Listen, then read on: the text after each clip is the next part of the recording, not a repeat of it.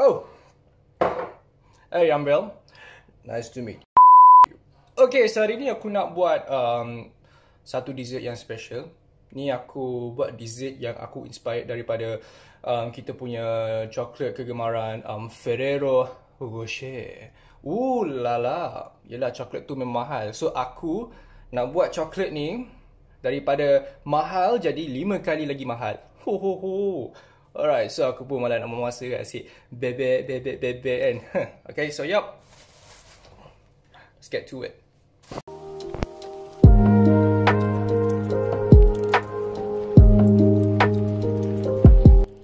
Okay, so for our hazelnut butterscotch mousse, I'm going to pour about 250 ml of heavy cream and 1 teaspoon of vanilla extract, 1 tablespoon of sweetened milk and I nak whisk dia sampai dia um, dissolve and I want to let it simmer. Kita nak bawa just simmer sampai dia panas and once dah panas, kita remove from the pan. Masukkan in a respective container and then I'm going to put about 1 cup of white chocolate. Ini nak bagi sedikit kemanisan as a substitute of sugar. And 250 grams of toasted hazelnut, 190 degrees Celsius yang kita dah toast tadi and 4 grams of softened gelatin sheet yang kita dah soften. And infuse and blend sampai dia puree and until dia become soft and then kita nak um, infuse about 30 minutes in room temperature. Meanwhile, kita nak buat kita punya brown butter. So, get yourself about 100 grams of butter and kita just cairkan dia.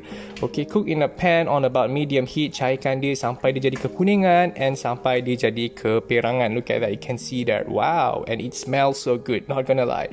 Okay, lepas kita dah siap, kita nak um, masukkan kita punya butter. So, um, tapiskan dulu untuk buang keledak-keledak dia. And once dia punya butter dah bergabung, kita nak infuse dia supaya everything comes in together and once kita infuse kita punya hazelnut cream, we are going to do once again kita nak tapis dia gunakan mesh sieve untuk um, buang kita punya keledak hazelnut yang lebih-lebih dari tu. Look at that. Sampai keledak-keledak dia dah habis, kita dah asingkan. Kita nak set in the fridge for 4 hours or until overnight. Wow. Okay, lepas tu kita dah set selama 6 jam in the fridge. So, kita keluarkan and then kita nak whiskin sampai dia achieve stiff peaks. Tak nak lebih, nanti dia split.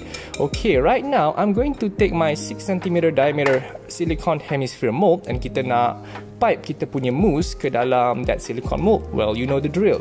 Okay, once kita dah pipe, ratakan dia gunakan spatula and then we let it freeze in the freezer for 3 hours or until use.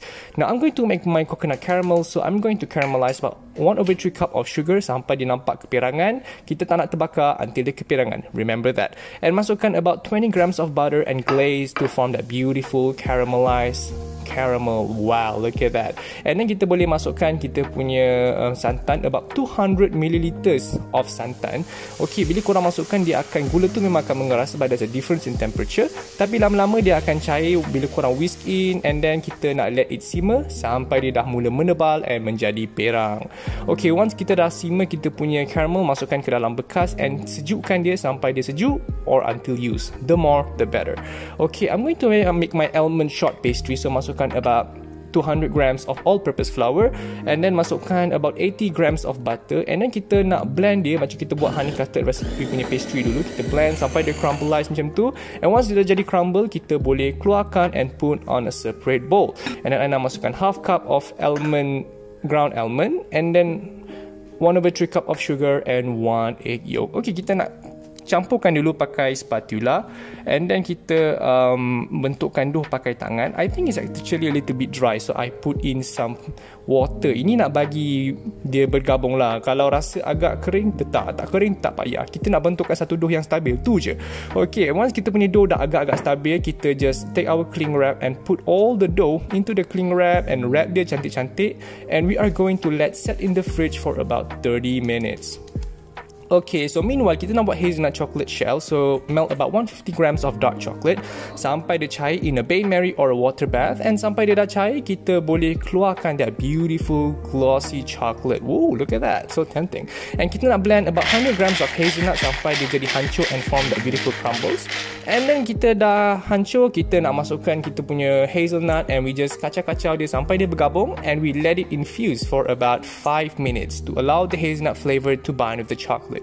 Oh, I'm not gonna lie, that looks tempting. Okay, my frozen mousse dah ready. So I'm going to bring it out from the fridge and it is ready for coating. Okay, nak coat dia is very easy actually. Ambil korang punya lidi or bamboo skewer, keluarkan the mousse and then korang just tebuk the mousse pakai um, bamboo skewer and then kita just coat dia cantik-cantik nice and beautiful on that beautiful hazelnut shell and once dah coat what you're going to do is that you're going to get yourself a container and then korang just letak that thing be very careful do not spill and Well, okay, sekarang ni kita dah coat, we let it set in the fridge sampai kita nak gunakan. Ingat, in the fridge, not the freezer.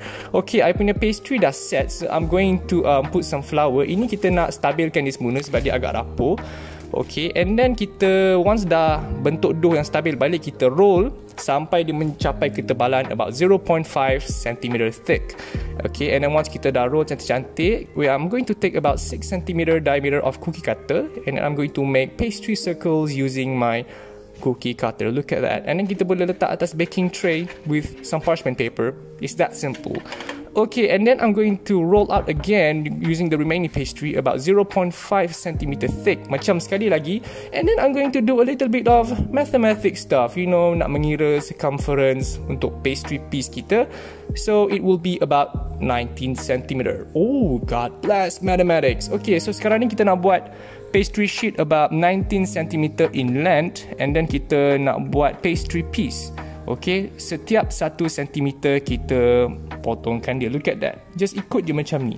Ini kita nak buat kita punya pastry piece untuk in case kita punya pastry circle. Okay, kita nak bentuk macam pasu and then just hati-hati gabungkan kedua-dua ni sekali and you have a mini pasu made out of almond pastry and bake in the oven, preheated oven for 180 degrees Celsius 30 minutes. Okay, Avengers assemble, keluarkan caramel, put it on top of the almond pastry, put some raspberries, and don't forget the hazelnut. Remember, Ferrocia the hazelnut, and get your beautiful mousse and put it on top. Look at that.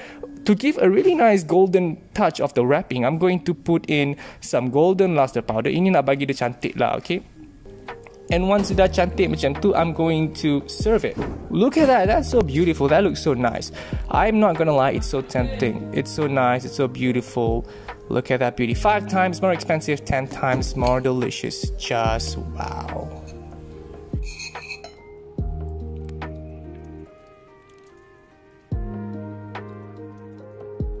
Welcome back. Okay, so jadi aku dah siap kita punya dessert. Oh, cantik kan? This is so beautiful tu. Kau tengok ni. Weh, apa ah? Ada jual ke? Tak jual dia. Sorry lah. Nak, nak buat sendiri ya. tak adalah ni pun. Bagi aku this ni adalah difficulty dia maybe about 6 to 7 lah. Tak adalah susah tapi leceh. Okay so aku pun tak rasa lagi so I'm just going to give it a try. Oh susah. Lah okay. Geram aku. Okay. Allah. Okay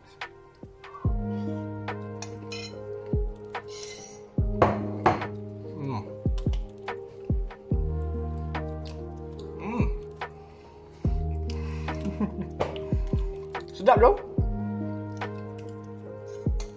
Nasi Abang eh hmm. Here we go. Golden heritage for golden moments.